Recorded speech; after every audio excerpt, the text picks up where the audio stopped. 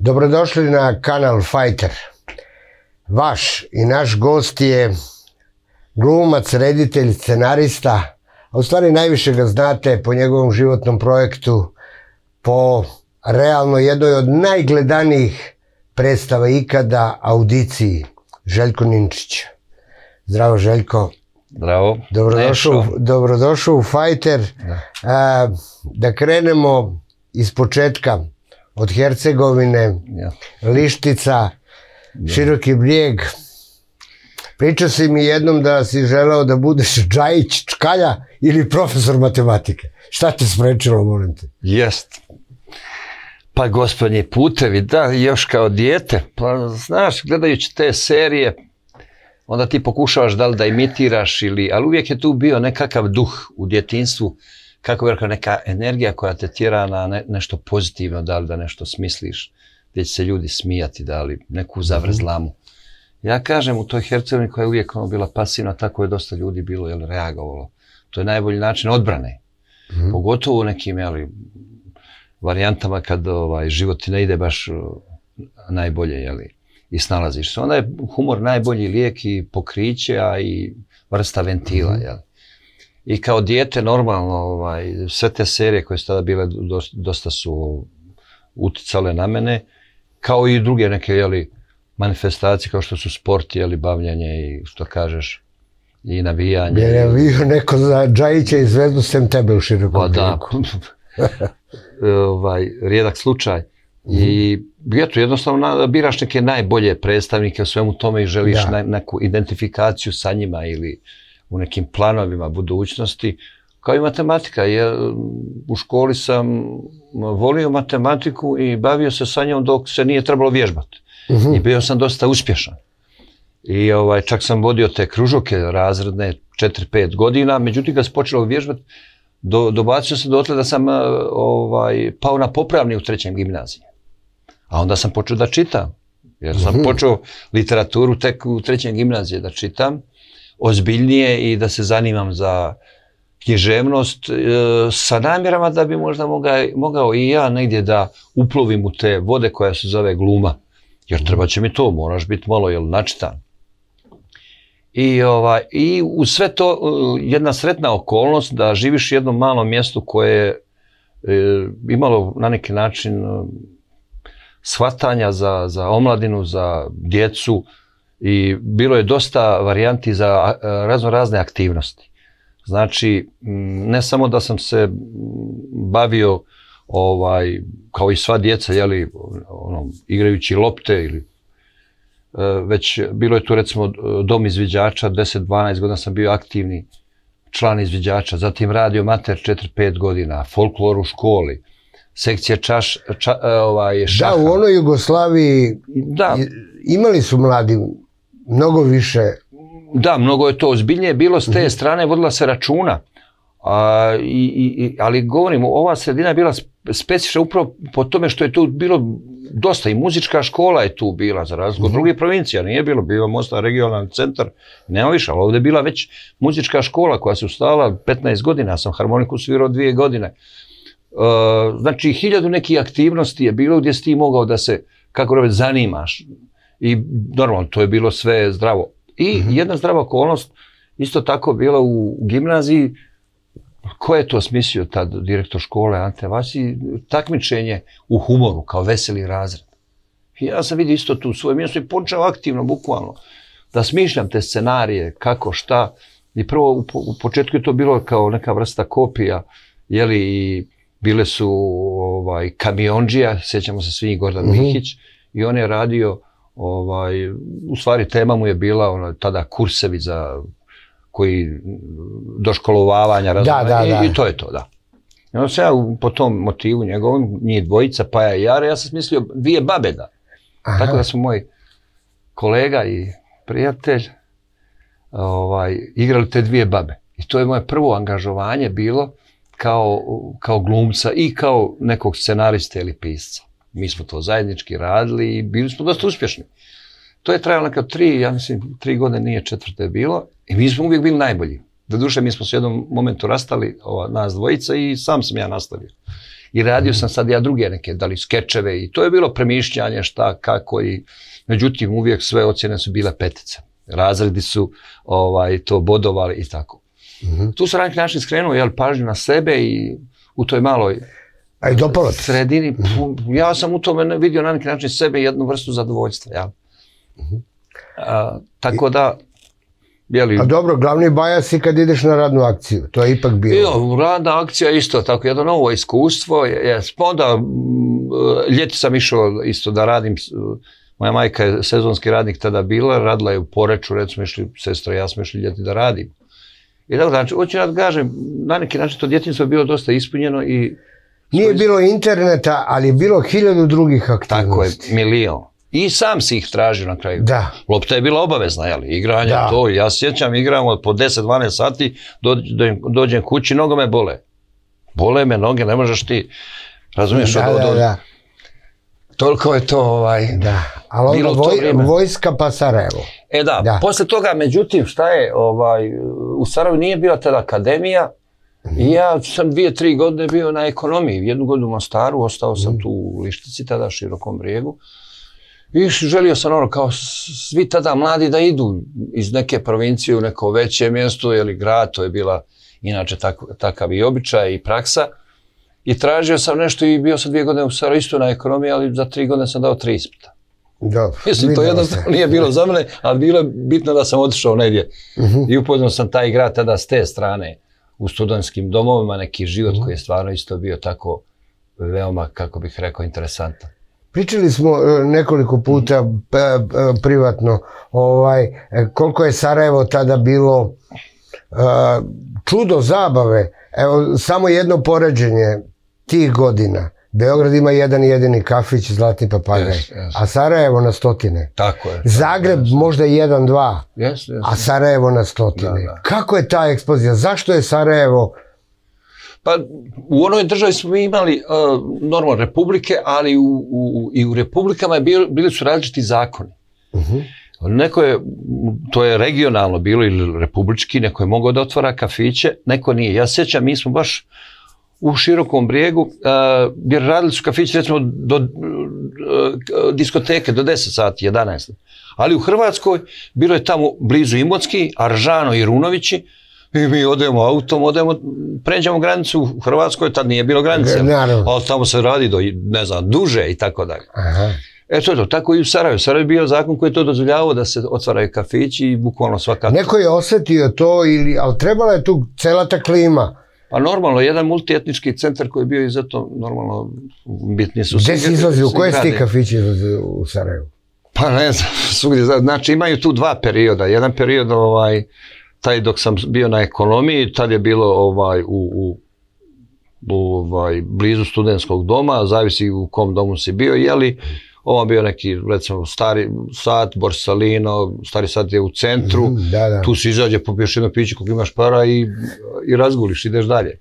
Da. I ovaj, e, a posle toga, ne znam, gore od Čaršije, uglavnom 8-4, Dobro, tad si već bio glumac. Da, pa... Da, to je već bio glumac. Međutim, mi smo imali sreće da smo upravo na toj našoj obali, akademiji gdje je sve to krenulo, jeli, Mhm. studiranje i bavljenje sa ovim profesionalnoj bazi, ovaj, imali smo kafić u sklopu akademije, to je akademija Mhm. privatniku, Bađo i Said, braća su bili koji su to držali.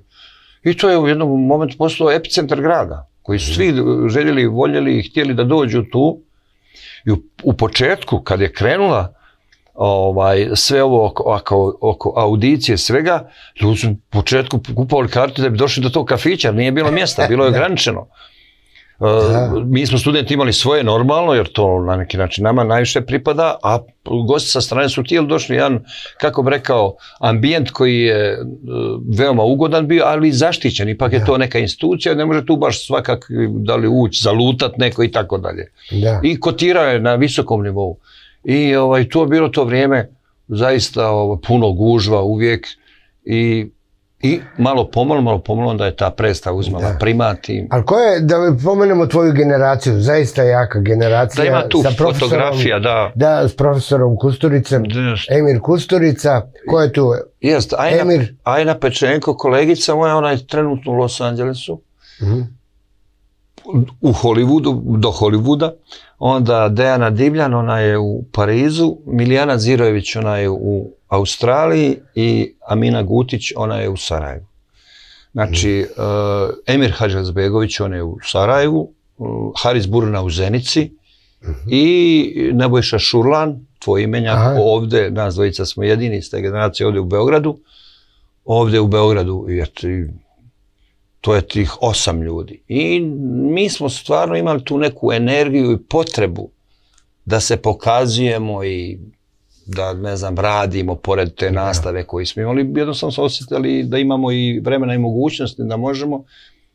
Tako da, da je to sve oko audicije krenulo na našu inicijativu sa željom da pa smo te Ali e, prvo u, skrećeš pažnju izuzetno te, e, e, teškom vežbom Dostojevski zapisi iz podzemlja, a istovremeno radiš jedno drugo ludilo, Jest. Audiciju. Kako to počne sa audicijom i kako se taj lom... prvi semestar druge godine i mi smo ovaj, već odgledali te kandidate koje ćemo imitirati, to je ta vježba uh, imitacija. Mhm. Koji mi imitiramo te kandidate koji dolaze na prijemni ispit. A drugi je zadatak bio da radimo nešto, pored toga monološka forma isto tako, ili, ne znam, bilo još nekih kombinacija, možda duo neka varijanta. I ovaj, Kusturica kada je to odrađivo, ko će koje tekstu, kažeš ti ćeš to, ti ćeš to, ti to, ko ti to, ti to, a ti, Ninčiću, Dostojevsku. Hop, zapisi iz podzemlja. Ja sam to uzeo četiri mjeseca, dobra, četiri mjeseca sam ja to listao, radio i nakon, nakon recimo, tri, posle tri mjeseca ja sam njemu odnio i on kaže, to ti je puno, devet i po stranica, ne može prepoloviti. Kako prepoloviti, jedva sam do ovoga došao. Ja sam od zapisa iz podzemlja uzeo prvih ti 80. E, Tu je negdje ovaj, prvi dio u stvari te priče. O... I međutim, posle toga sam napravio četiri po stranice, tu negdje i kazao i na ispitu, ispit je bio u, u tom semestru, Mhm. i taj Dostojevski je bio atraktivniji od ovoga Davora koji je bio kao imitacija. Ljudi su, hoću reći, Za reagovali... audiciju, da. Da, ljudi su bolje reagovali i čak je bilo, čak, čak možda i smješniji nego ovaj Davor. E sada, ovaj, ne, mi nažalost, Kako to kreće onda sa audicijom?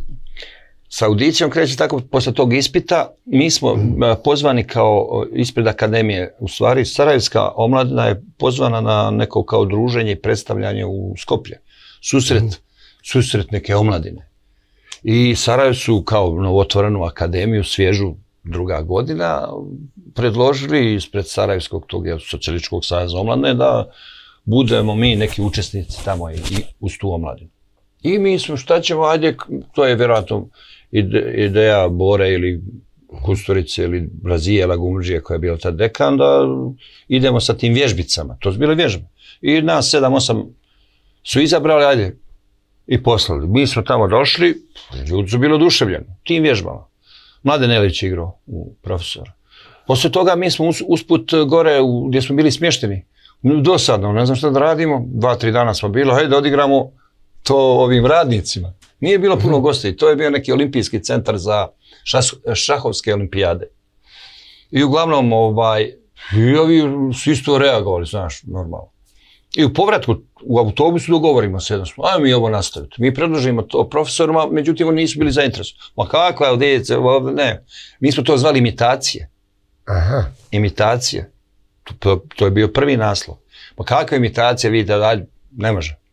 Mi odemo preko puta, jer sa nama je bio taj jedan od organi- organizatora koji je radio u Domu mladi i ovaj, obezbedi nam amfiteatar mali od 400 mjesta gdje mi možemo tu igrati. To je kaže dođite ovdje.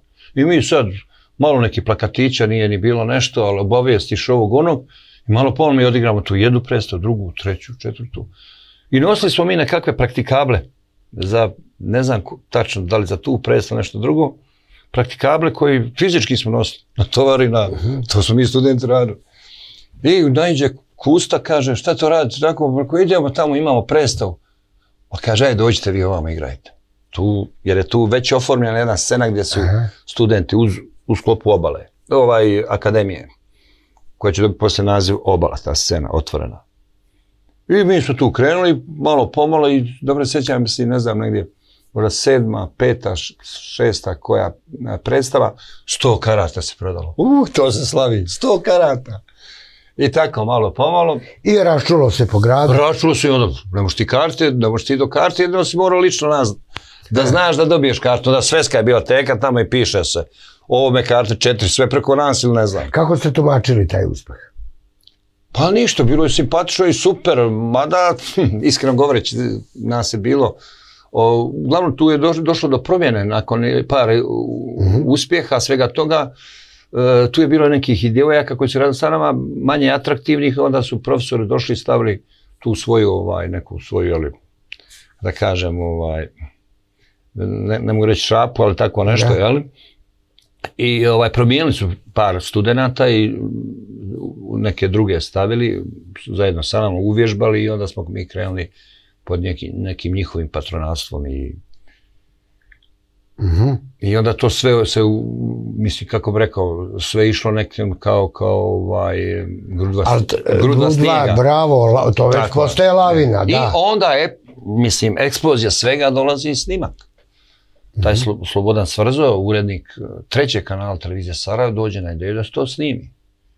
I dvije su predstave snimljene iste večer. I ne znam kad je prikazano to i onda je to bilo eksplozija. Onda je to više, ne da nisi mogu kupiti karte već. Uglavnom su igrali uvijek po dvije predstave, dva, tri dana za redom i tako, gdje god da smo išli. Da.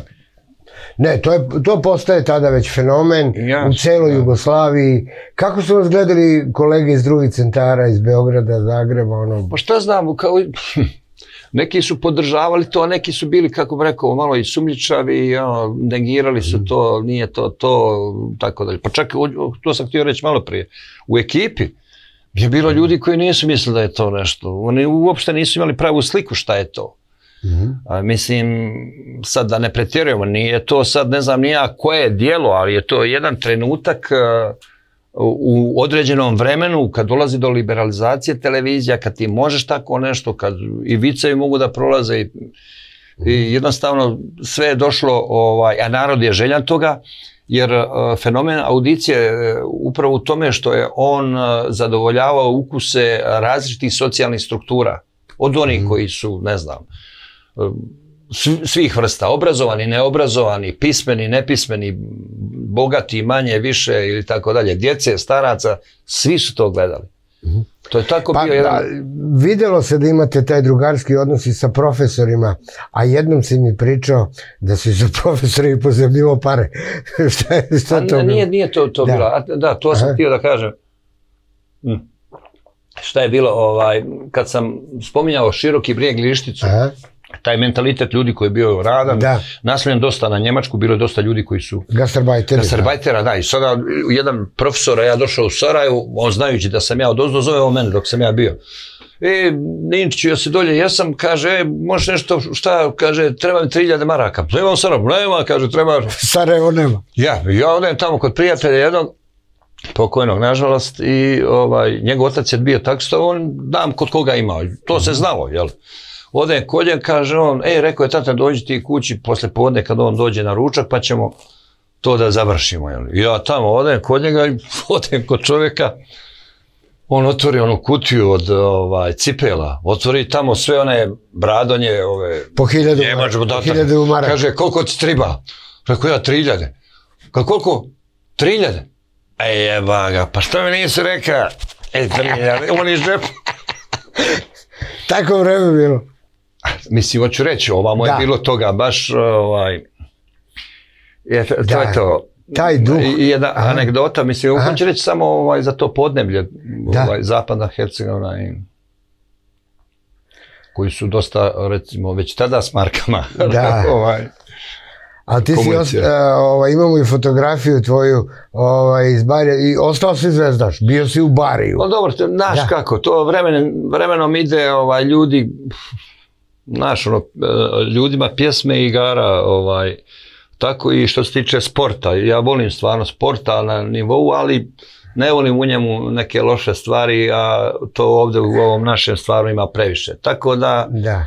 ovaj, koliko god sam nekada normalne internacionalne utakmice svake gledam iz svog ovog našeg podneblja, sve me interesuje, kao i Novak, jeli, pogotovo i... Da. Ali e, vi u Sarajevu koliko god pratili šta se dešava, to si desetinu puta rekao, ni u najgorim snovima niste, niste mogli da predvidite da će Sarajevo da pukne.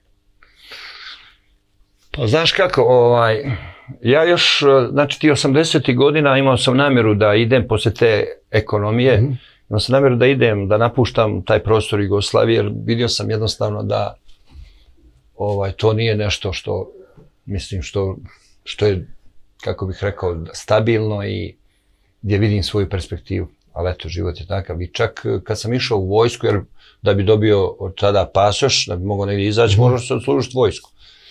I ovaj, otišao sam kod svog pokojnog sada strica i u Sarajevo rekao, rekao idem u vojsku, pa kaže moraš prvo završiti ovaj fakultet, ono rekao, striko vidiš ti da od ovog nema ništa. Čega preko od ove države? Boga mi se on i naljutio na mene na to.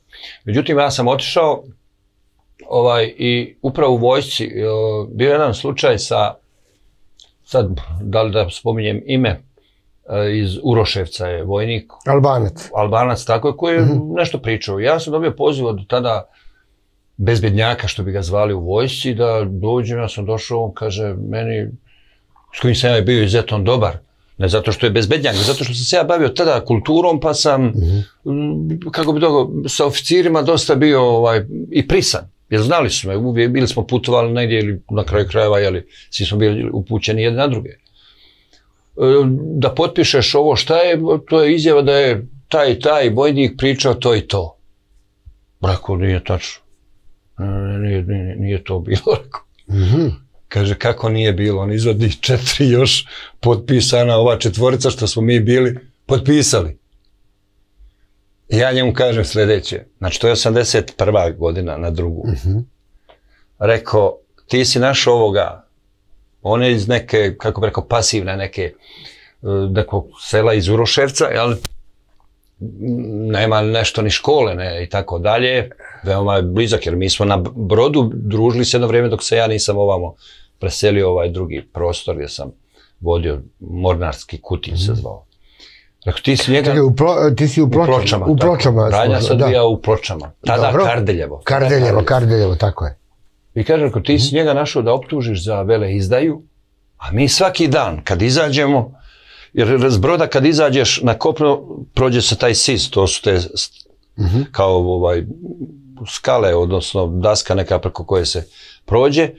I sad se, znaš, svaki ide nekim, ne znam, da se druži sa svojim nekim da prijateljima, kolegama, već. I na jednu stranu je bila ovaj, su Albanci bili uvijek homogeno u jednoj grupi, ovamo su bili ostatak, jel, vojske. To je uveliko bilo tada u celoj. I rekao- Albanci su se odvajali. Jes, i rekao, to je, Govorili su jezička barijera, ali naprotiv, mislim, bilo je tu i rekao, svega. to je tebi ili vama normalno, imaš u jednoj vojsci dvije vojske i sad ti našao ovoga, jeli, Izvuko ga i šešira. da ga op, optužiš za vele izdaju. Pa je vi rekao pri sebi. Neću potpisati. I nisam potpisao. Da. E, to je to. E, tu je bio ovaj sa mnom, Mhm. mislim, u pločama je zajedno sa mnom služio Marinko, tvoj gost Mhm. Nikolić, Da. po kome sam ja i dao ime Mariko Ćutu, Mari- Marinko sjećajući se Ćutu, njega, jel, i tako dalje. I ovaj, da, i eto, to je govorim uh, Mhm. s teme Sarajeva, znači kako je šta. Znači, prošlo je, ja sam se zanimao u svojim uh, tekstovima koje sam ja radio, ovaj, da li od Davora, znači audicije prve gdje sam autor, do ove ja sam uvijek na neki način spominjao taj i politički ili ne znam nija koji ovaj problem. Recimo imaš jedan moment što niko nije primijetio. Samo želim da kažem da znači moji tekstovi koje sam radio nikad ništa nije bilo slučajno napisano. Možda u zadnjoj toj predstavi gdje ajde, pa neka dva, tri da li vica, jer sam ja, nisam ljubitelj toga, ubacim. Ovaj, ali šta je bitno, recimo, Davor kad govori, kaže, uh, pita ga sad, ne znam, tamo profesor, što, šta je spremio, uh, on kaže, uh, sp- govori tko je, je on kaže, Davor Stevanović, njegov tekst kad, se ovaj, govori kao njegovu pjesmu. Ovaj, Davore Svaniću, tko ima razloga i ne znam nija šta prava i tako dalje, govori za narodno pozorište nešto i govori tu tisuće i tako dalje. Nikome to nije, uglavnom govorim ja, uh, kako bi rekao hrvatskim, jeli, tko i tisuća. I to je svakom prošlo, kako bih rekao, ovaj, nezapaženo. A ja tu nisam slučajno rekao. Jer u Sarajevu se nije govorilo ni, ni tko, ni tisuća, već hiljada. Da. A pritom je iz Bosne, jel? Aha. Hoću da kažem, znači, ja sam uh, tu htio da kažem o nekim stvarima koji su tako uh, pre, preko njih prelazili svi. Kao i danas. Svi se prave ludi. Da je sve okej, okay, jel tako? Da, da, da. da. Uh, dao sam jednu vrstu naznake. Mhm. I poće, posle će se pokazati da je tu bilo normalno određenih problema u toj državi koje nisu na vrijeme riješena. I kada je jel, pokojni Tito rekao, mi smo nacionalno pitanje riješili. Nisi ga riješio, nažalost. Jel? Još 90. godine u Sava centru, tako, e, e, vi završavate predstavu. To je već poslije. Da, da. Da. Znači tada isto, znači u Sava centru ima snimak 90. godine, znači to je godinu i po dana, to je e, prije rata u Hrvatskoj. Da? Pardon, prije rata u Bosni, a šest mjeseci prije rata u Hrvatskoj. Znači, naša predstava nova audicija završava, oj drugovi, jel vam žao, rastana se primakao. Znači, godinu, a mi smo igrali već predstavu u dva, tri mjeseca, znači skoro dvije godine prije. I sad kad kažu za nadraliste, to moram da kažem, ali uh, nadraliste koja su napravili taj zid, Čuvena. ja, kao scena, Da. ali to je napravljeno u decembru mjesecu. Rat je već bio u Hrvatskoj. Sad, ako govorimo za Bosnu, a u Bosni je počeo za četiri mjeseca. Međutim, u Sarajevu je već bio, reći se, narod razdvojio. Znači, ništa to nije da je neko predvidio nešto ili predskazao. Jer ako se sjećaš, bio je plebiscit srpskog naroda, Srba u Sarajevu u, u devetom mjesecu. A ovo nastaje tek posle 4-5. Znači, sve je to već bilo, kako bih rekao, samo što... Nikakvo posebno vizionarstvo, u stvari je realnost, Pa ne mogu reći kao naš, Ali tebe te barikade i to uh, zatiče... ba da, porodično, ja sam iz opreza svega, mislim, na, niko, mislim, nema, nije mogao pomisliti do te mjere da će biti, ali za svaki slučaj ja sam roditelje koji živimo u Staru doveo u Sarajevo i tu smo mi bili zajedno, sestra i jednom velikom iznajmljenom stanu i tu smo bili, za ne daj Bože. I onda dolazi vrijeme, kad je došlo to, daj bježi. Razumiješ, do- dođeš i sada daj. Tako da je to bilo, ovaj, Dolaziš u Beograd, da. da, dolazim ja avionom, jer ipak kao vojni obveznik neki normalno ne želiš u tome ni da učestvuješ, vidiš odjednom neke ne, ne promjene već. I ko je uzeo oružje, na koji način se sve dešava, da je to sve, mislim, eksplodiralo A jednostavno. kako se kolege tvoje ponašaju? Pa ništa, mi smo kao iz audicije trupa, mi smo već bili, kako bi rekao, jedno, kako bi rekao, odvojeno jedno tijelo koje je radilo s vremena vrijeme, se viđalo nas 5-6, razumiješ? I radili Ti si smo... sa Emirom Hadži Hafizbegovićem imao uvek ono, kakav odnos? Pa da, uvijek korektno, mislim, ništa između Da. nas nije bilo s tim da je ovaj, on, ja mislim, on, da, on je otišao u Tuzlu posle akademije, nismo se ni kontaktirali u to vrijeme pred sve ovo i tako dalje. A, ovaj, ovi ostatak isto, ja sam uglavnom komunicirao sa Mladen Geljo, Kecević, ja i tu je bio ovaj još menadžer i Troka kao glumac i mi smo ovde, i kad je bilo ovde demonstracija 27. marta, mi smo došli autobusom, recimo, pisalo Sarajevo audicija, niko taj autobus nije taknuo, mislim, nije, Naravno, da. kad su bilo velike Da, kamenje, mi smo ovde tenkove za, ovaj, zatekli kad smo dolazili jedne večeri. I samo nas puste, ajde prođite i tako dalje. I eto, uglavnom, Šta, šta nalaziš u Beogradu? pa ništa, isto, od dizelaša do, ne znam, jedna, mislim, tada čitavo to podnem naš XU prestaju da funkcionišu neke, jeli, pravne, državne, da li funkcije, da li sve ostalo, kriminalizacija, mislim, užas jedan, jel? Jer Đuro odlazi u Ljubljanu. Ne, ne, ne, ne, Đuro je već ranije otišao i da, što se tiče njega i Sarajeva, mi nismo u kontaktu bili, ovo to je prva audicija koja je bila. Pa svaki je gledao vjerovatno na koju će stranu gdje će da, da, što ja kažem, mi koji smo izbjegli, nismo gledali gdje će nam bolje biti, gdje, već, gdje će nam manje biti loše. Jer Da, kako, da, da. kako ćeš ti osjećati ovaj, sa par kofera odeš ili tor, torbom jednom, dvije i sa porodicom i dođeš na ledinu. Do dana I- današnjeg biramo između dva zla. I to Nikad, tako je, da. isto, i to sa hiljadama ljudi. I Sarajevo otišlo, ja mislim, 60% tada ljudi. Da. I ko je sad ostao od, od te... Ili kontaktiraš kolege iz Beograda, i pokušavaš ovde da... U, u, u to vrijeme, ne. Da. Ne, sreo sam poneke ljude, ono kaže, meni ovaj, jedan, ako ti šta treba, javi se, šta će mi treba, nema nikakvih problema. Svi, svega sam lišan.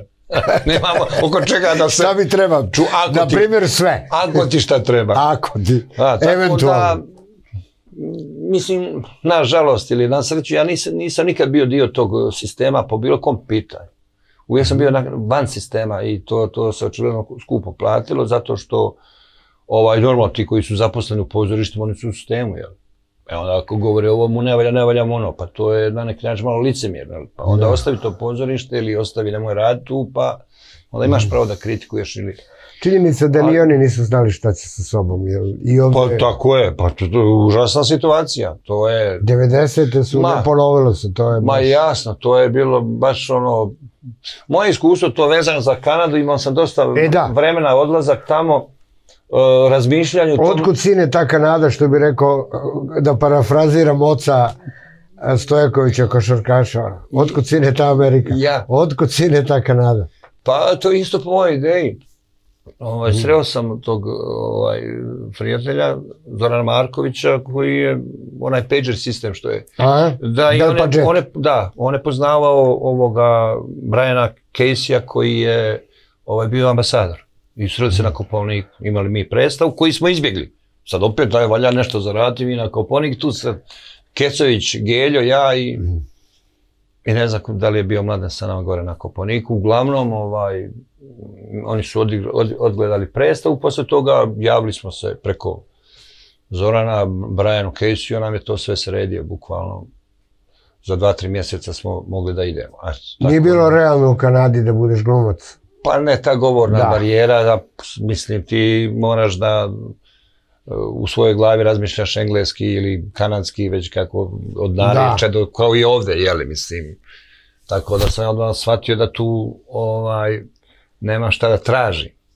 Eventualno tu je bilo nekih ideja za koje sam ja mogao, ali nisam jednostavno bio u, u tim ovaj e, varijantama. Ja sam kao autor mogao tu da nešto napravim, ali opet treba doći do nekih ljudi. Na koji način? Mhm. Znaš, mislim, s- te ljude koje sam ja sretao, nis, ne mogu se nešto pohvaliti da su prinuđen si da se snalaziš. tako, Ne, da, ko svaki obični smrtnik, znaš. da. I ovaj, kad je mene ovaj, jedan Sarajlija zvao na koncert, bio neki pjevač, nije bitno koji, sad narodne muzike, da ne kažem ove novokomponovane. Folk. Rekao, ja to ne gledam. Aj, kaže, ti ljubomoran, ti ovde u, u Kanadi, ti si u magazinu, a on uzima pare ovde. Rekao, prijatelju, uh, koji si ti sretnik, kako sam rekao, ja nesretnik, da to kažem. Rekao, trebao je rat da se desi da ti i ja, ti iz Sarajeva, nisi mogao sa mnom sjediti u istom prostoru, a trebao je rat da se desi da ti i ja možemo da sjedimo zajedno. Koji si ti da bi sjedio sa mnom. A rekao, ja sam išao u školu da ne bi ovo gledao ili tako dalje, jeli, pratio i e to je, mislim jednostavno ovaj, taj ne mislim ja ništa previše dobro o sebi, a ne, ne mislim ni, ni previše loše. Normalno. Po, mene, po meni treba bolje, ljepše i znaš, to je ono kad sam se ja zaprepastio u Sarajevu, kad sam došao šuba, na, ja rekao, "Pff, živio sam u nekom gradu, toj provinciji mojoj, i bio je neki, jeli, štos, primat, ko će ljepše, ko će bolje, ko će bolje, ko će brže, jel. Da li u sportu, da li bilo čemu, ko će više biti obrazovan, ko će, to je bilo tako. A dođeš ovdje, rekao, šta je ovo, evo to, ko će gore? Još ko će koga, da li prevaret, da ispadneš mangup. To u mojoj provinciji baš nije bilo tada. Ovaj, jer grad, normalno Sarajevo kao i Beograd, pun veličina to dozvoljava, mangupa, prevaranata, svega. Tako da je dosta ovaj, taj mentalitet, razumiješ, i uticao na, na razvoj svih situacija ovih naših. I dobro, vraćaš se za Beograd, audicija nastavlja da bude tvoja sudbina, ali samo još jednu stvar, slučajno da ne zaboravimo, ovaj, punio si se audicijom. Prema mojim informacijama od tebe, a i proverio sam, 44 puta dom sindikata i isto toliko interesantno 44 ili 5 puta Lisinski u Zagrebu. Ma da. Mislim, znači, audicija je stvarno fenomen našeg vremena. Samo šta mogu reći ovaj, još, znači, ta treća najnovija audicija, bre, ona koja je posvećena izbjeglicama. Mhm. Znači, ja sam sve tu ovaj, zakružio. Kompletno Naravno, audicija doživljava... sve ono što se u društvu, naše najbitnije, ali ja sam time pokazao da to što se dešavalo u prvoj i drugoj audiciji, kod mene nije bio slučajnost, već namjera. Znači, nije slučajno. E, bilo je kolega, znači mi smo veoma različiti bili u toj predstavi, bez obzira koliko smo bili atraktivni. I svi, svaki imao različit pristup i namjere. Znači, mnogi nisu to prepoznali, nisu vidjeli, ne znam. Meni je bilo uvijek smiješno, zašto se odricati nečega što, što je tako atraktivno, dobro i tako, jel? Nasmijat publiku još da imaš toliko uspjeha. Ali nisu, e, većina njih nije bila, ovaj, svi su maštali nekim svojim ulogama, ne znam, afirmaciju, nekim filmova, nekim, ne znam, nije šta i tako dalje. Nekima je uspjelo, jel? Ali, ovaj, e, po meni to je e, nešto i najoriginalnije koje se desilo u tom gradu, Sarajevu, uz indeks. Sve ovo drugo, znači tu ima dosta kopija, za muziku da ne mhm. govorim, znači muzika je prekopirana.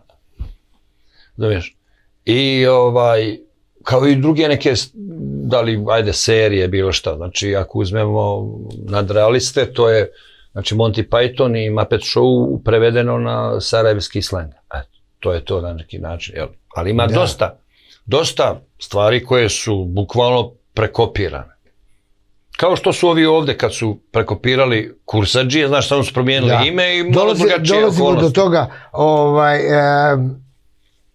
ljudi vide potencijal, znaju šta je audicija, kakav je to izvor i šta se onda tebi dešava kad se konačno vraćaš u Beograd, kako u stvari ti stupaš, s kim u kontakt, e, tvoj, e, da kažem, zemljak ili drugi, jesi ga znao u Sarajevu, Gane Peciko za pa jer s njim počinješ ovdje? Da, ovaj, međutim šta je, evo, Znači, e, u Beogradu ja sam e, smislio varijantu, pri tome sam i Kecovića i ovoga Gelju zvao da idu sa mnom.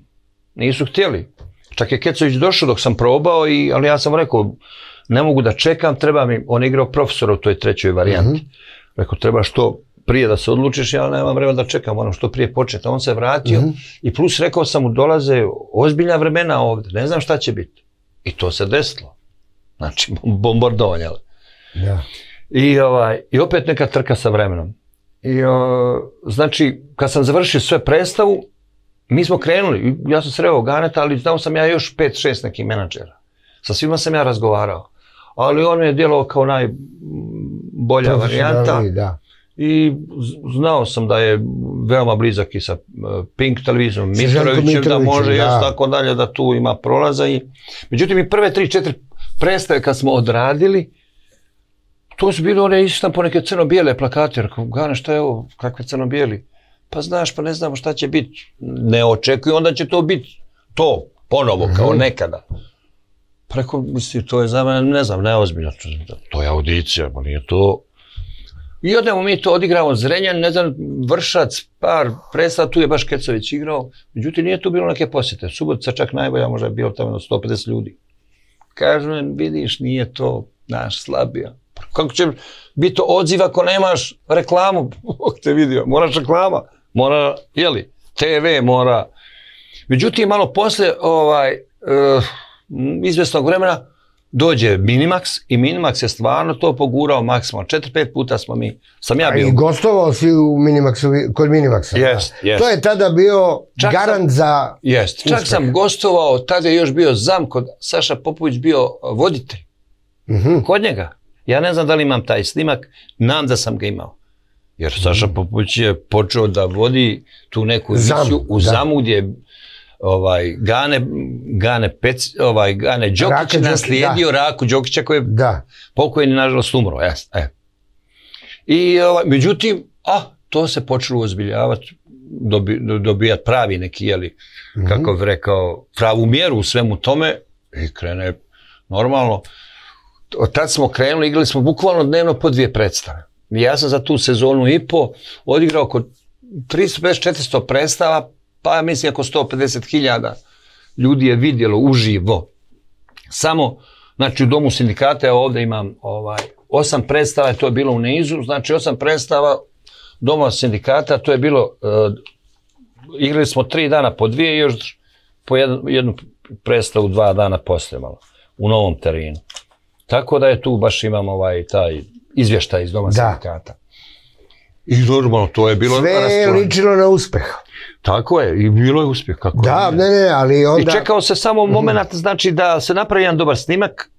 Željko Mitrović je dva puta to snimio, mali studio u, u, ovaj, u, ovome, u Zemunu. U Zemunu, dok je bio, da. I ovamo reportažnim kolima je snimio, snimio u Domu sindikata. Međutim, taj snimak tehnički nije zadovoljavajući jer je imao problema u tonu. I to je odličan snimak u odnosu na sve te druge, ali koji nije bio upotrebljiv. Mhm. Međutim, ovaj, tad sam ovaj, ja na neki način završio sa Ganetom, neke, neki dogovor se nisu ispoštovali, jer pazi, tada ugovor nije imao nikakvog smisla, jer, jer to ulica bukvalno tada, nema države, ni, ni ne znam nija čega, sve je u raspadu, mislim. Ekonomska izolacija, sve, pri tome, znači da kažem, svi ti pjevači ovaj, koji su ili ne znam, jednostavno bukvalno smo mi radili sami tih godinu, godinu i pol dana. Bilo je par tu pjevača koji su isto tako nestali. To je interesantno. A recimo Bojan Milanović, ja mislim je Bojan Milanović da je. Onda ova, kako se zove, Tapnula 11 kao grupa, onda ovaj, mm, onaj Žmaher, Da, da, o, pa koji je još radio na, Bojan Žvaker, da. ne znam njemu. Uglavnom ti par pjevača Čiri, isto koji su bili da. tada ovaj, jednostavno nestali. Kao što sam i ja, jel, poslije te 2000. godine.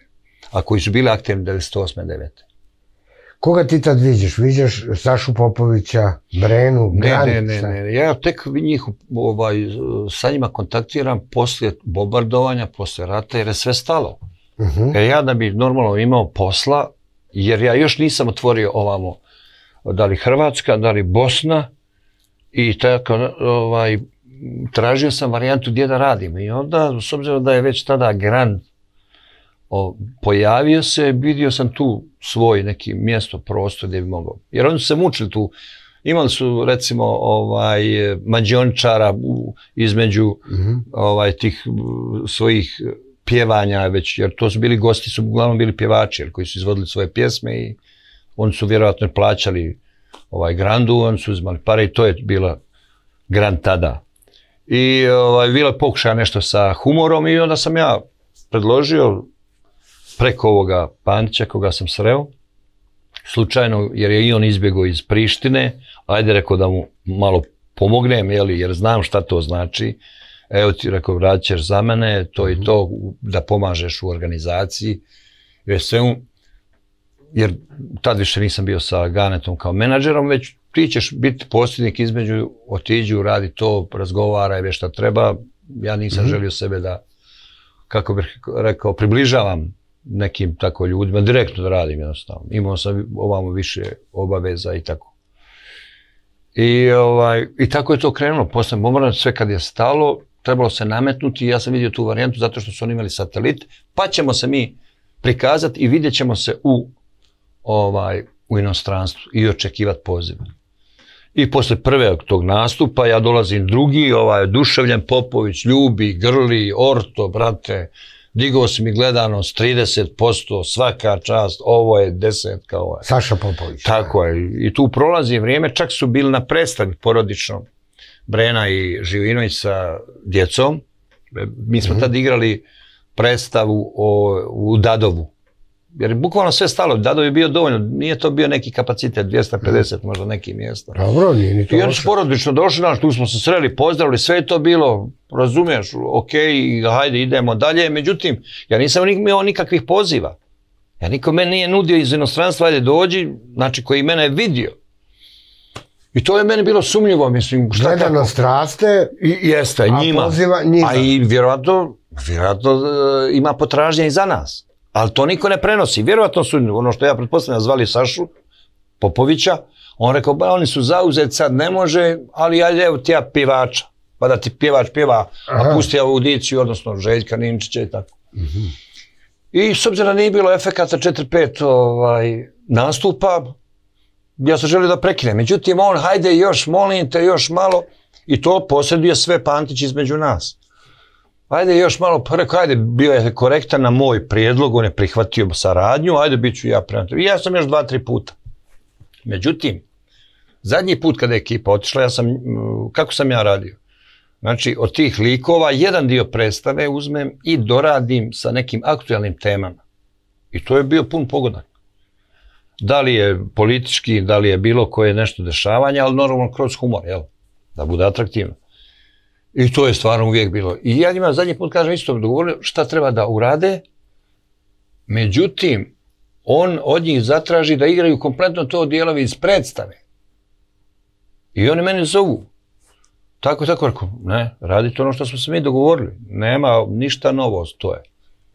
I tu smo mi kao završili razgovor, međutim, poslije ja saznam i rekli mi, kaže, ipak smo mi, pa kako si rekao, jesmo se dogovorili tako? Ne, mi smo to odigrali.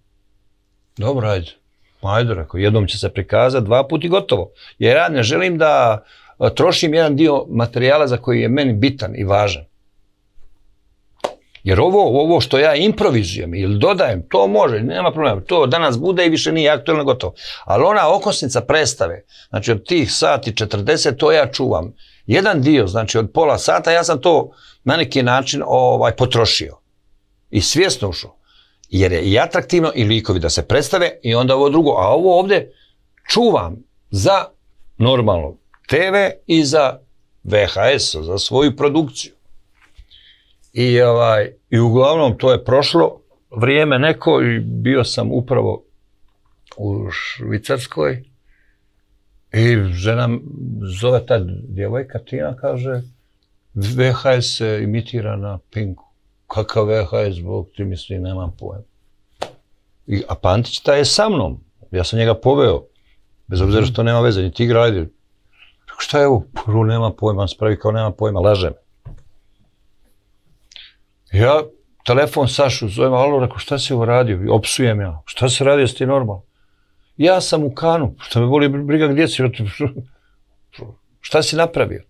A, ono, spusti slušalac. Ja se vratim, šta ću, drž, ne da je tamo, ovo, nađem ja nekog advokata. Ja sa njim, on kaže, ko je Saša, mi imaš broj, imamo. I on, alo, i sa njim razgovara. Kaže, ovaj, dobro, dobro, dogovori se, njih dvojice se dogovoriš odjednom. Šta je sad ovo? Kaže, idemo kod njega, kod Popovića. Dobro.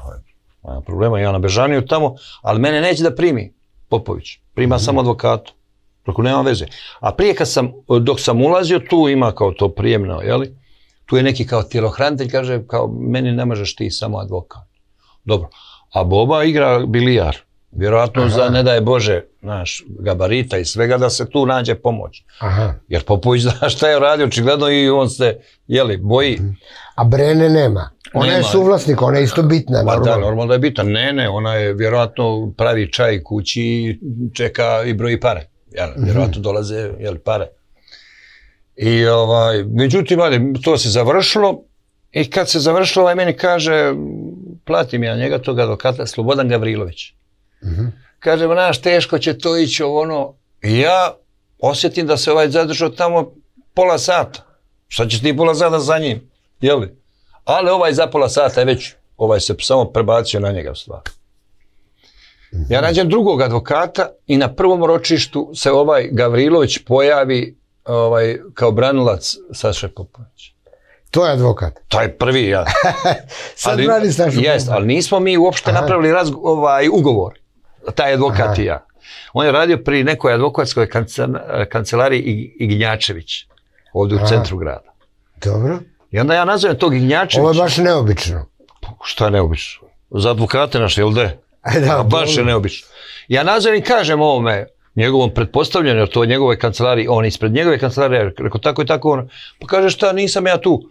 Rekao, pa nemojte da vas prozivam, to je iz vaše kancelarije, vi ste odgovorni za njega, za njegove postupke. I on njega izbaci, tog Gavrilovića. Međutim, u među, u, pa je uzeo novog advokata u međuvremenu, ovaj, ovaj, valjda je našu svoju kancelariju neku počeo sam da radi i onda se opet on vratio. Taj isti Gavrilović, možeš misliti. Da. Ali e, da li praviš neki kontakt sa Sašom Popovićem? Ne, ne, nema Ne. nikakvih više kontakata tu, nema ni ovaj, razgovora s tim da on je negdje, ja mislim, 2007. godine kad sam ja uh, nju prozvao u novinama u Hrvatskoj, kako me je rekao, opljačkala, Lepa Brena. tako Da. ratni huškač koja je išla u vrijeme rata u, u Bosnu da podržava tamo ratnike neke, njih ostavljala Oblačila uniformu. tako da. je njih ostavljala tamo da ginu, a onda se ona vraćala ovamo. Rekao, umjesto da je ona odgovorna, da je ona u, jeli, u Hagu kao takva, ne. Ovaj, ona je, ima sve, jeli, kako bih Mhm. rekao, mm, privilegije ovog društva. Onda se on meni javio i pondio neku cifru Popović kao preko advokata isto. Dobro. Što sam ja rekao, jeli, fa- nedostaje jedna nula. Mhm. I tako. I to je bilo sve, jednostavno, međutim, posle toga idu Izvini, da bi gledaoci ovo Da. bolje razumeli. A, sad, vi nemate ugovor, ali to njemu ne daje pravo da tvoje autorsko delo eksploatiše i zarađuje. E tako, ili tako Normalno da bi nema. nas... Druga Da. stvar, mi ako smo se i dogovarali, međutim to je sud. Što, Da. sam, što sam ja rekao na kraju, uh, to je bilo prije 5-6 godina, ovaj, sudinci, rekao, ja tužim za jedno, vi vodite proces o drugom, a presuđujete treće. Kaže ona mene, pa tako je to kod nas. I tu je bila ovaj Boljevac, predsjednik udruženja sudu, sudija. Možeš misliti? Ona pred ovom kaže to. Pa Da. kako je to sudstvo?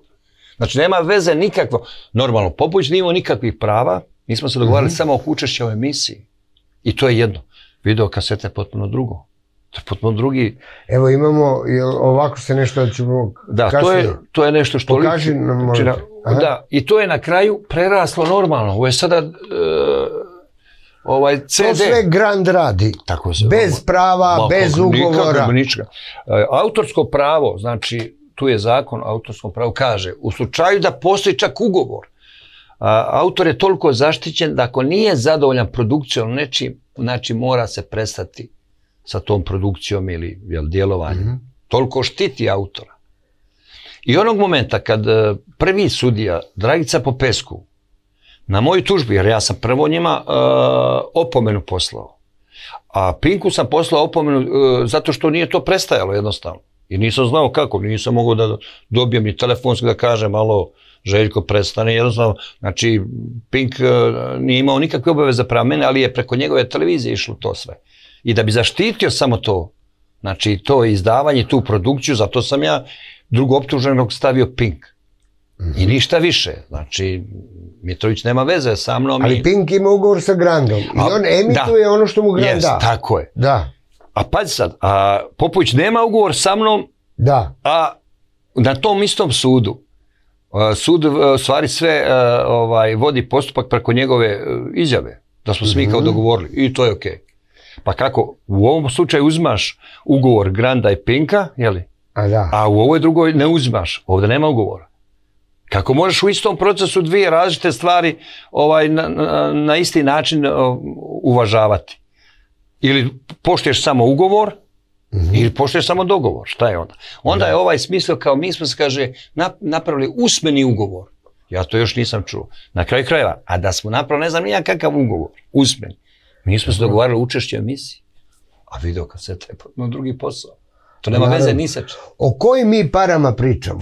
Da bi nas ljudi shvatili. Ajmo, e, ti e, jednom si mi pričao, recimo čuvena pijaca Arizona na Tromeđi. To je samo jedna. Znači, Ispričaj takve da vide Pa ljudi otiš- koje su to pare. jeste, pa mi smo otišli tada, Za koliko su oni tebe Evo da kažem opljačkali. Pa znači to je bilo par miliona evra, maraka tada. Dobro, Znači tadašnji. u, u Arizoni dnevno se prodavalo sigurno hiljadu komada. To je pijaca na Tromeđi, Jeste. B- B- Bosne, Tri naroda. tri. Gdje tri su svi dolazili posle rata svega i to je bilo. To je blizu Tuzla. Pijaca, tako nešto. tako, je, Brčko tamo, Brčko, Brčko. Brčko, Brčko, I to je pijaca duga na otvorenom duga, uz cestu duga kilometar. Dobro, S oba dvije strane su neke prodavnice trgo, prodaje se od kamiona do igle, jeli? Dobro. Do šivaći mašina i gorenje mašina. E. Cemena, sve se živo tu prodaje. I svaki peti, šesti štand je mali štand za videokasete, za... Da. i tu Grand prodaje tvoju... Tako, ne, na svakom štandu je to, udarno. I pitam ja se djevojke njih, koliko si ti prodala, to je tek početak, to je sedmi mjesec. Kaže, ja sam prodala na 200. Koje godine? To je, znači, 2000. godina. Da, da, dobro. Kad je to izdato? I ovaj, koliko vas radi šest? Šest puta dva je 1200. To je samo taj jedan štand. Jedan A štand. štandova ima, razumiješ, Da. pomnožiš tako dalje. Ali to nije jedina Arizona u I to je, regionu. pazi, to je nakon uh, 10-15 dana od, od, od, od njihovog izdavanja tu, i moje tužbe Mhm. i tako dalje. Jer ja sam zajedno sa Borom Struganom koji je bio ovaj moj advokat, drugi Mhm. i jedini u stvari advokat, jer sve su oni kupili, mislim kupili ili već Da. eh, lobirali i advokate i sudije. I, ovaj, I on je bio sa mnom i baš da provjerimo. To ne može i bez sudije, bez tužioca, bez celog tog aparata. Normalno. I što ja kažem, nema, nije, meni problem Saša Popović, je problem sud. Uh, Izvini, imali Brene, jel se... o- ne što, ona, ona, je, Ona je tihi suvlasnik. ona samo broji. A broj, Ona da, da. samo broji, da. I ovaj, i eto, to je, mislim, to je trajalo i, i trajalo, što kažeš, koliko. Pa samo, što kažem, sud se uopšte nije bavio, uh, jer ja sam tužio za napravljenu štetu. Ti si mene lažno predstavio. Ti si iz, moj materijal ti si montirao, ti si ga iskasapio. Tu nedostaju uh, naj, uh, najbitnije stvari. Ono što mene kao autora ili pisa, interes je tu.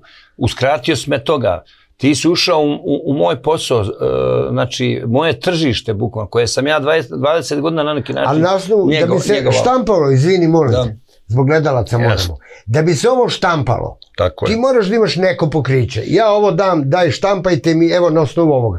Šta, na osnovu čega on, Na Grant, osnovu Saša ničega. Popović, Brena, na osnovu čega oni tebi ovo rade? Na osnovu ničega. Na časta reč majke mi, šta? Da.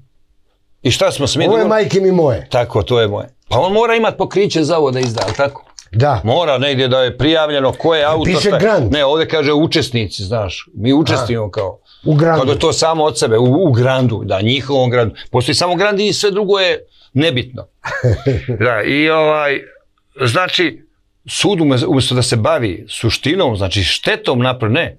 Na kraju sam ja dokazivao. Znači ja moram, ja materijalni dokaz donesem da sam ja autor, što sam autor za tekst u ovoj agenciji za, za autorska prava. Ja dajem materijalni dokaz, ne, to se vještači.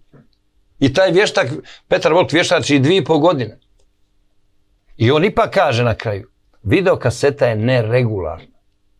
Na sudu. Tako je, on je na sud na svom izvještaju. A Da. to za sud, znači što je ne vrijedi, ne uvažavaju uopšte to.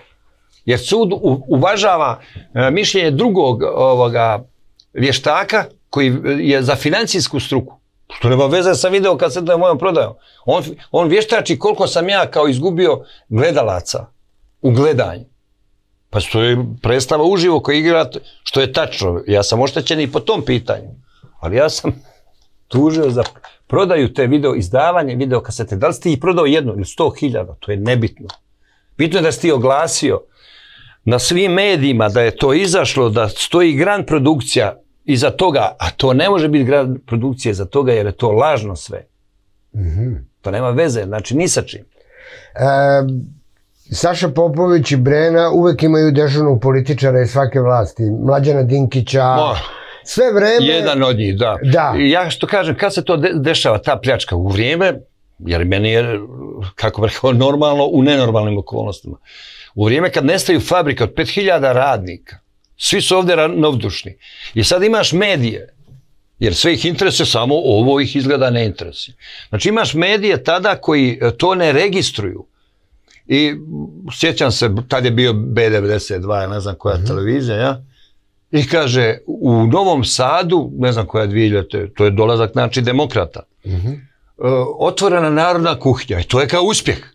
Evo još jedna narodna kuhinja. Pazi, u sred Vojvodne u Novom, u Novog Sada oni otvaraju na- narodnu kuhinju i to je kao nešto pozitivno što je ta vlast uradila. Umjesto da se stide toga, jer je to sramota. Jel tako? U Vojvodini da se... Ma, to je sve Znači, u tom jednom ambijentu kad se uništavaju fabrike, da ne, da ne nabrajam, od Čoke, Zrenjanina, Sremske Mitrovice, svih tih firmi, Valjevo, Srbijanka, ma sve živo, to je uništeno. Da ne govorimo za bankarski sistem. I ti sad imaš neku predstavu gdje ja nešto se borim. Da. Evo, jedna stvar, dok mi ovo pričamo, jedna stvar se u ovoj tvojoj priči dešava a, paralelno. A, Grand, Popović, Da. Brena i Željko Mitrović prave paralelni nekakav humor sa tim istim tvojim Pantićem, Da, da, da. a, policijska stanica da. Kasnije će se ispostaviti da su te Kursadžije u stvari bili državni projekat, jer na mintizima Srpske napredne stranke oni predgovornike zabavljaju narod. Sve to ima da, da, da, da, pa da, no, oni, Šta ti o tome Pa ne, znaš, to je ekipa ko- misliš? Da, to je ekipa koju sam ja obučio. To su moje Aha. kolege. Ali pazi, ali oni nose sa, sa sobom i svoje likove. Aha, Jer to su moji likovi, nisu njihovi. Sjećaš se ono, Milan Gutović kad nije mogao da igra Lađa i to, i nije mogao da igra taj lik više, razumiješ? Da, Nije mogao taj lik da igra. Jer je to uh, lik koji je jer napisao... Šojića Tako je. igra samo Milan Gutović, tako, je, da. jeste, jeste. Ali ga nije mogao igrati kad je napustio seriju, razumiješ, Mhm. nije mogao nek- nije drugu igrati, jer to je njegov. Tako i u ovom mom slučaju. Imaš dva, tri lika koje oni prenose, moje kolege prenose u, u, u te kursađije. I tamo Da. imaš trojicu ljudi koje sam ja obučio, uigrao i samo prešli hladno. Znači, i tu je povreda autorskih prava, stvar, to je moje. Razumiješ, taj Da. lik i taj lik, to je moj lik. To je moja ideja da ti kao glumac igraš taj lik ili da igraš ovaj drugi lik. Razumiješ? Ali, I oni da, nastavljaju, da. znači to je jedan kontinuitet. Oni se nastavljaju po istom receptu kao što je nastala audicija, tako oni dalje rade te kurse na, normalno na tom nivou njihovom koji oni znaju ili su- koji su mogli. Opet je još jedna stvar mi sada naviru mi e, pitanja, a iako smo ti i ja godinama e, pretresali ove teme. Zašto? Šta je u glavi Željka Mitrovića i pre svega Saše Popovića? E, da, imaju original s kojim mogu da se dogovore, jer koliko te poznajem godinama, ti jesi čovjek dogovora, da bi pravili falsifikat kroz nekakve trt-mrt e, stanice, kursađije i tako dalje. Vidi, tu što se tiče Mitrovića, tu se ja. Tu on Da. nema veze. On je njima ustupio program, e, vrijeme. A, I da. Mitrović prema meni je bio, ništa tu nije bilo. Jedno što ja nisam mogao tada da, e, kad je bilo pitanje suđenja, kad su oni došli posle opomene, dobili, e, kad je krenula tužba, Popović i dalje nastavio da reprizira te moje scene koje je već snimljeno, za koje nije imao pravo, da reklamira i tako dalje. Onda je njega Željko Mitrović direktno nazvao i rekao, alo, šta radiš, prestani. Nemaš prava više to. A ovaj misli, ja sam zakupio prostor i mogu da radim šta hoću.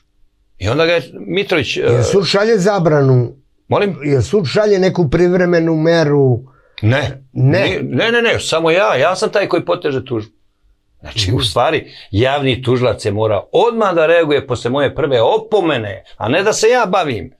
I šta sada radi taj sistem sudski? On prebacuje sve na sebe. I moj glavni protivnik je sud. Ja se bavim sudom i sa tim ljudima koji primaju pare koje ova država plaća ili narod i oni su moji neprijat, u stvari protivnici.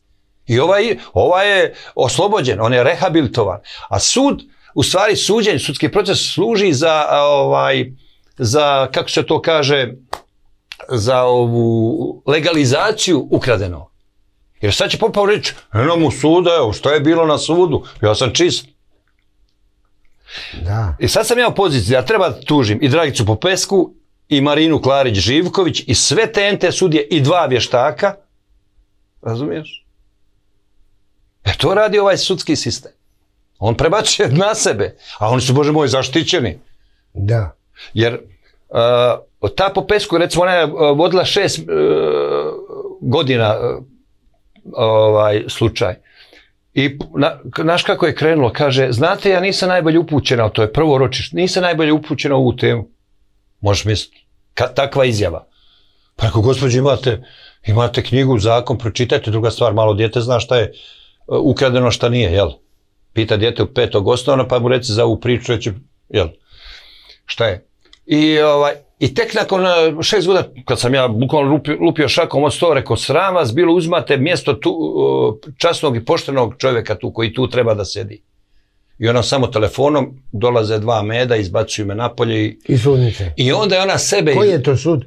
Pa viši. Viši, da, na višem. Tada okružni, da. I, Da. o- I onda ona sama sebe izuzima iz procesa može. A ja posle, znači, e, na početku, kad, dok nije donijela privremenu mjeru zabrane te produkcije, ja sam odmah tražio njeno izuzeće preko advokata ovaj, Strugara. Da. Mi smo odmah reagovali, sve je to urađeno, međutim ništa, on to mogu kako hoće. Onda dolazi druga, pa treća sudija, ova Klarić Živković, da bi ova Klarić Živković nas- nakon deset godina e, suđenja rekla da je tužba neuredna. Nakon deset. Nakon deset. Mislim, znaš, no, dođeš na taj sud i ono ne znaš šta te čeka. Čak sam imao jedan udes saobraćajni poslije. Jer ja sam se žalio ovaj visokom savjetu sudstva i kad sam došao, to čekaš godinu dana, kao ja sad očekujem da će to biti neka porota da te primi. Ja dođem tamo kad jedan papirić to treba da ispuni što je to. O kojim mi parama u stvari pričamo? Pa znači, e, pazi, oni ispod 200-300 hiljada tih videokaseta koji su ovde prodaju na ovoj teritoriji po 10 maraka, nisu manje, a za inostranstvo isto ne znam broj. To je, ja se Znači, čovjeka... pričamo milionima evra. Maraka, nego, da, da, Maraka. tada, ma, da, tako je, maraka. Pa ne bi oni nastavili dalje da rade sličnu varijantu samo sa kursađijama, odnosno Da, tom policijskom da to ne donosi novac. Tako je. Jer normalno... Jer humor je i- ne samo to, znači to sve što moje ideje bile. Policijska stanica, ovo sve, audicija ovde, audicija tamo. Što je ovaj čuo, pa je li odradio. E, Već, znači, on pravi grand audiciju. On tako počinje sa kandidatima, ali tako? Da. Ide po, ne znam, o, po Srbiji pravi grand audiciju za pjevače.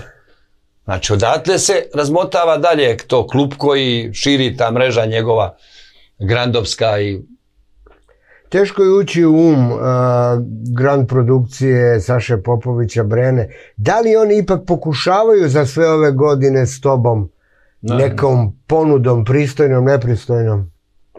Ne, pa Popović misli da je završio sve.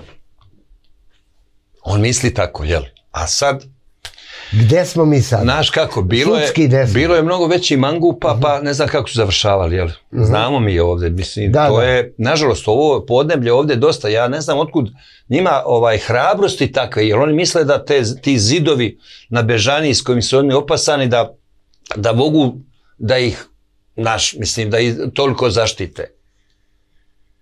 Jeli?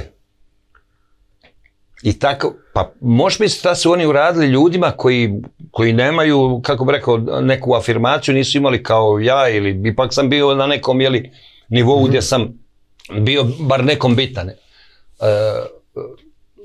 to, to je plejada ljudi koje su oni dali iskoristili na koji način ili prevarili. Pa možeš misliti sad, on pravi ugovor na 13 godina sa tim pjevačima koji tek počinju, paze, Koji on, imaju 18 on godina. veza, znači on njega čereć radi šta hoće. Otkud te pravo? Pa nijedan sistem to ne bi smio da dozvoli. Gdje su ta prava? Mislim, evo, imamo ti agencija, ne znam, svi se bore za neka prava, ovamo najnormalnije da oni mogu da pljačkaju, jel? I da tako ovaj, ucijenjuju ljude. I da na kraju krajeva drže monopol. On drži monopol na, na, na, na, u, na pevaljke, jel? Mhm. E, ti, koliko znam, dosta e, audicija ide dalje. Nastupaš u regionu, Hrvatska, Crna Gora, Bosna, Pa, da- Srbija, inostranstvo. Ne, bilo je dosta, dosta je bilo. na Ovo, ovde što se desilo imalo je uticaj, normalno, ne samo to. U toj produkciji njihovog tih eh, kursađija i ostalog, razumiješ, oni su zaorali ovde po čitavoj Srbiji, po, i čak su išli ovamo i Bosni i Hrvatskoj su čak bili i onda su oni to dalje, znaš, sve su oni za mnom, moje puteve su oni slijedili i oni su bukvalno kontaminovali ovaj taj prostor sa svojim predstavama. Tako da, Da, sam taj da. stil koji sam na neki način ja gajio u nekoj najboljoj Promovisao. promovisao, oni su toliko devalvirali ti sad kad njima, sad se pojaviš taki nekim sličnim likom, kaže daj, dosta mi je kursađija. Jel, Da. ili ne znam šta. Što je, da ti kažem, jedno, jedno nesretno podneblje, Mhm. vrijeme izuzetno teško, gdje bi, naš, mislim, gdje bi morali biti što, što ozbiljniji, a ljudi su mnogo neozbiljni. Pa uz, uz pomoć svoje medijske snage oni su ovaj, nametuli tržištu jedan stvarno niži nivo. Lično znam čoveka koji mi je pisao scenario za te kursađe i tako dalje. Njemu su sedam, osam puta vraćali i govorili ma jok, ovo je prejako, spusti nivo, spusti nivo. Jednostavno je to tako. I eto misliš, a šta je Gde smo mi Da. sada sa, tvoj, sa eh, tvojim slučajem protiv Saše Popovića Pa i ništa, Brene? vidjet ćemo, baš danas imam neki sastanak i tako dalje. Hoću reći ne odustajem ja, ovaj, jednostavno... Sud nije od- rekao svoje još. Pa Instanci- jeste on dosta, jer zadnji taj advokat, Cukavac je bukvalno, on, on nije predao ovaj mo, žalbu Ustavnom sudu i terminski je to ovaj, e, jednostavno stalo, jel? Međutim, Mhm. Ima dosta, a, kako bih rekao, e, elemenata na, na, na osnovu koga se sve to može vratiti i dalje nastaviti, jel? Gdje se stalo, Mhm. jer u stvari oni nikad nisu ni prestajali da, da ovaj, e, mene kradu i ja imam za to materijalne dokaze. Željko, jesi optimista? Ja te znam kao takvog godinama. Ma na šta je, ovaj, Čemu, gde vidiš da, da pravda dođe? naš, e, šta bi rekao, u svemu tome šta je dobro? U ovom civilu medijskom i svakom drugom dobro je što me uopšte nije bilo. Šta bi ja tu radio, jel? Pored ovog svega, od ovih realitija do ovog, jel? Mhm. Šta bi ja tu radio, mislim, jednostavno niti imam želje, ni... To je ono što je pozitivno. Druga stvar, s druge strane, uskraćeno mi je mnogo toga da radim, ali našao sam neko drugo rješenje, ne rješenje, već na- našao sam više ovaj vremena za znači najužu porodicu, za jer to je privilegija da možeš toliko da provedeš vremena sa svojim najbližim i Mhm. nemate odsutnog toliko i tako dalje. Znači uvijek e, ima neke loše strane, imaju i dobro. E, To moj svijet nikad nije bio, niti će biti. Ja mogu sarađivati kad me sudnica, ova sudija pitala pa zašto ste vi sarađivali sa njima kad tako govorite o njemu. Preko sve ste uništili u ovoj državi, pa još ja treba da se života odreknem, jeli? Pa moram praviti kompromise, pa nisam ja kriv što je došlo tako vrijeme, jeli? Ti faktori već odakle dolaze i vjetrovi sa strane, ne- mi smo tu kao narodi ovde nemoćni, a ne pojedinac jedan. E, jer postoje još pravni načini Kako da, ne, pa kako da ne. Ne samo to, broj jedan, to nije ovaj, to nije ovaj povreda autorskih prava, to je zločin. Znači ti si, o, druga stvar, to je organizovani kriminal. Ja kradem, ti me štitiš. Način na koji, kaže nisam znala, a gdje je odgovornost? Eto ono, upravo se mijenjao taj ustav ili zakon ili po pitanju sudija, izbora, reizbora i tako dalje. Ako ti imaš pravni sistem gdje nema odgovornosti, pa onda je absurdno. Znači, to je organizovani kriminal, to je krivično djelo, ti si ugrozila nečiju egzistenciju, je li tako? Da. Druga stvar, to je, o, kako se kaže, to e, ugrožavanje osnovnih građanskih ljudskih prava na rad, ti su meni uskratili da, da, da radi, na radi život. Međutim, znači, e, sve te žalbe na neki način, ministarstvo, Znaš, ti odeš u ministarstvo ovaj, kulture ovaj, u vrijeme isto te demokratske vlasti, on ti da tamo nekog početnika da, se, on- da se ja konsultujem sa njim. A ja opravu znam više od toga, bar u tom domenu, nego, nego, nego, nego toga, jer me to interesovalo normalno. Da se konsultujem. Jer sada, e, normalno da umjesto da mm, već ko treba da ovo shvati, ono što sam ja radio, jer u vrijeme kada je bilo najteže i najgore, 98. 9. ja sam tu bio. Znači, toliko predstava odigrao, ti vraćaš e, s tim humorom neku pozitivnu energiju narodu, neku volju za ljepše, bolje, za život nekakav. I nisam ja tražio ni brda, ni doline, ni ordenja, ni bilo šta da mi se da, samo da mogu da radi. I za razliku od mojih kolega koji su da li ostali u Sarajevu, da li otišli negdje drugo, jedan je ministar, drugi dekan, treći profesor, četvrti ima privatno pozorište. I tako dalje, ja sam ovdje na birovu rada proveo 18 godina. Ovaj, I sad sam, nedavno su me primili kao udruženje dramskih umjetnika, pa imam to, jeli, tu vrstu da li zaštite ili, ali uglavnom, jeli, e, što sam govorio, kad sam se upoznao s Arsenom Dedićem, pa mu se predstavljao. Ja rekao, ovaj, tako, rekao Željko Ninčić, rekao, porijeklom sam iz Istočne Hercegovine, za, zapadnoj sam živio, e, studirao u Sarajevu, životom ono, živim u Beogradu, radim uglavnom u Hrvatskoj najviše. On me gleda, kaže, koja predstava? Rekao, audicija. Rekao, ne znate za audiciju? Kaže, on, ne. Pa rekao, izvinite, gospodine Dediću, ja nisam znao da vi ne pratite kulturu. Uglavnom, ovaj, malo smo se zezali i ja mu kažem da sam recito njegovu ovaj, Ines i on je pokazao sliku, tu ima ovdje, ovaj, slika on ja i ta slika Ines originalna. I tako, ovaj, i on kaže, ovu, kaže, baš čudno, kaže, ti kao moja Gabi, zašto sam to ja podsjetio, ne znam, baš, ona ima nešto slično tako, neki njen životni put. I uglavnom na kraju mi je dao vizit kartu, kaže, prvi put kad dođeš u Zagreb, evo ti dođi i da razgovaram. I nažalost, to se nije desilo, jer to je bilo šesti mjesec, on je već u, ja mislim, osmom umro. Dobro, Željko, pravda kažu spora. Da, ali, Ali da li, da pa dobro, što da nije do, e, dostižna. E, Željko, hvala ti, ovo je, mi ćemo ove, ove razgovore, pratit ćemo.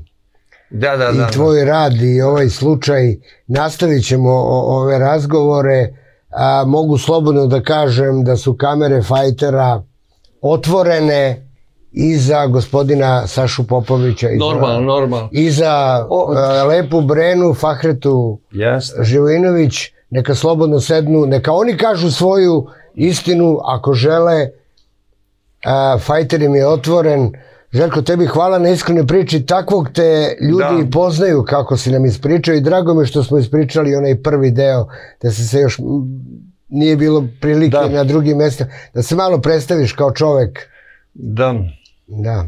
A, Ništa. Nadam se da, da ću se sresti nekom, jeli, možda i sa ljepšim temama i sa... Da, da, da. Mada, Ali da ovo varijanta nije bila loša, ali šta ćeš, moraš uvijek začinimo s njim. ta- Jer Na pazi, to kraju. su, to su glavne vedete ovog našeg društva i življenja, jeli? Da. A da se njim... Mnogi će se iznenaditi trebamo- kako to. Ja, otkud oni, joj. Da, da, da, ne znam. Fin, fini ljudi. Ali dobro, to ja kažem, mali, samo to je ako mali... žele, fajter im daje šansu, da, da. ispričajte svoje Fajter, slobodno, vrata su otvorena. Kao što su i tebi, prijatelju i druže, Željko Ninčiću, hvala ti još jednom. Da. A, vidimo se tek, a vi ostanite uz kanal Fighter.